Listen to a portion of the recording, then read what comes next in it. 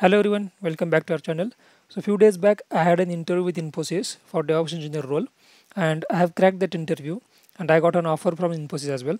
So today I'm going to discuss some interview questions with you so that it will help you to prepare your upcoming interviews. So basically there were three rounds. First one was technical round which was 1 hour of duration. After that 45 minutes of manager round and then HR round for salary discussion. So I applied this job from Infosys career page. And after a few days, I got a call from HR, Infosys HR, and she has scheduled my technical round. So they basically schedule the technical rounds on Saturday.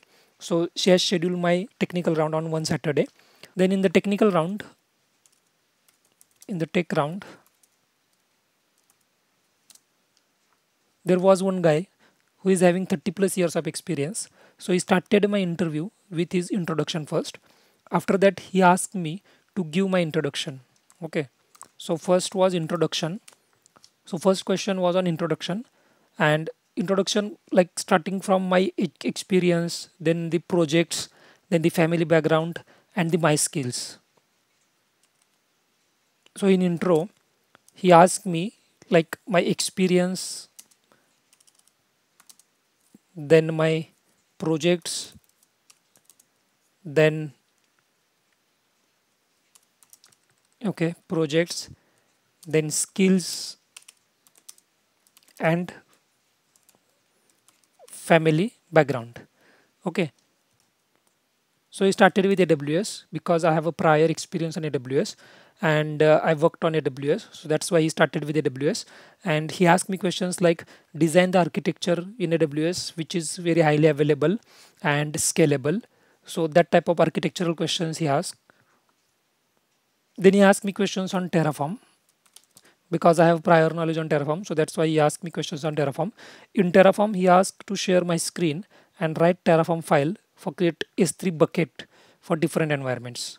Then he asked me about Terraform modules, Terraform modules and state file.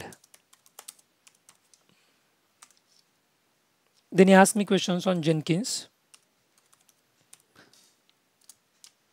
So he asked me questions like how to add slaves in the Jenkins, then what kind of jobs Jenkins files you have written. So explain me the flow, CI/CD flow in the Jenkins. After that, he asked like how to integrate Jenkins with AWS.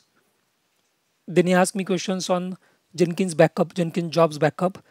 After that, asked me to write one Jenkins file, declarative pipeline. Then he moved on Kubernetes. And in Kubernetes, he asked me to write one deployment YAML file.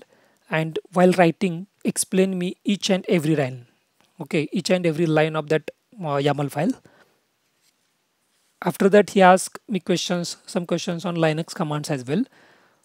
So those are very basic commands. So like pwd, top, then the df-h, so etc. So those are very basic commands he asked me. Then he moved on monitoring part like Datadog.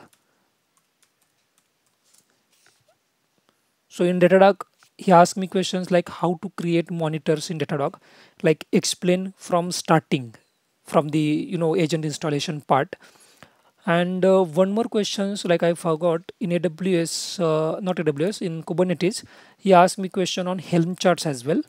So yeah, Helm charts.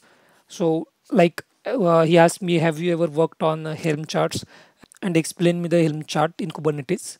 Then in Datadog, uh, he asked me questions on dashboards, like how to create dashboards in Datadog, then how to install agents, Datadog agents on Linux and Windows. So that uh, that kind of questions he asked me on Datadog. After half an hour, I got an email from HR that you have cleared the technical round, and same day she has scheduled manager round. So in manager round, that was very you know very easy round. He just checked the thought process of mine and he asked some questions on agile methodology and some basic questions like uh, behavior questions so i cleared that round after that again uh, within half an hour i got an email from hr stating that you have cleared the manager round and uh, tomorrow we have a schedule your hr round. On next day like on sunday i guess she had scheduled the hr round hr discussion round. So in that round she asked me some basic questions on my skills and uh, like salary discussions. Then uh, do you have any offer like another company's offer in your hand? So this kind of basic questions she asked so that was related to salary discussion only. After a few days like after uh, i guess 10 days i got an offer letter from infosys. So this is what my interview experience with infosys. Hope this video will help you to prepare your upcoming interviews. Bye bye